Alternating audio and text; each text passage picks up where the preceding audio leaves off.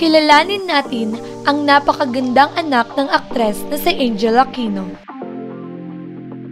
Hindi na nakakagulat na marami sa anak ng mga kilalang personalidad sa showbiz ang nagtataglay rin ng magagandang itsura.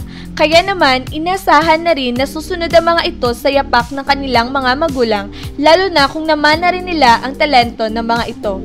Gayunpaman, hindi lahat ay nais maging sikat na artista, kaya ang iba ay mas piniling tumahak ng kanilang sariling landas. Hindi man halata dahil sa kanyang itsura, Bukang bibig ng netizens na para bang nakakatandang kapatid lang ng kanyang mga anak ang aktres na si Miss Angel Aquino.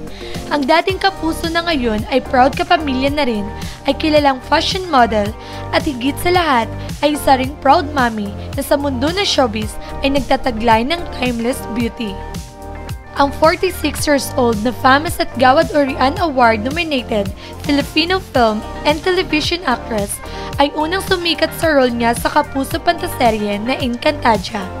At mula doon, maraming karakter pa ang kanyang pinagbidahan hanggang sa maging bahagi na siya ng primetime teleserye na ang probinsyano bilang si Secretary Diana T. Oligario.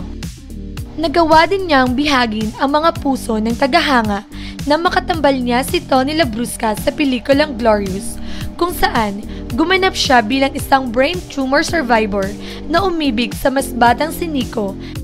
Lingid sa nakakarami, ang proud kapamilya ay mayroon ng dalawang anak na babae na sina Yana at Thea.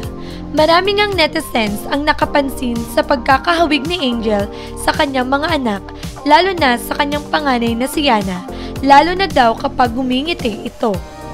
Marami ang humanga sa taglay na ganda ng mga anak nang minsang mag-guest sila sa programang Magandang Buhay, kung saan naibahagi ni Angel ang hirap bilang isang single mother, lalo na nang magkasakit sa Thea ng hydrocephalus. Pero nagawa niya itong lampasan sa tulong na rin ng kanyang paniniwala. Ayon pa sa impormasyon, hilig ng panganay na anak ng award-winning na aktres ang beach, surfing at mountain climbing pero, mas gusto niya ang banding kasama ang kanyang very cool na mami mula sa simpleng pagkain hanggang sa pag-exercise ng yoga.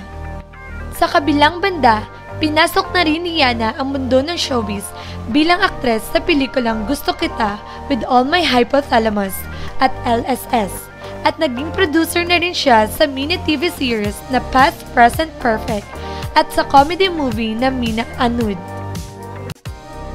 Ano sa tingin nyo? Mag-iwan lang ng comment, like, and share this video and don't forget to subscribe. This is Daming Alam TV.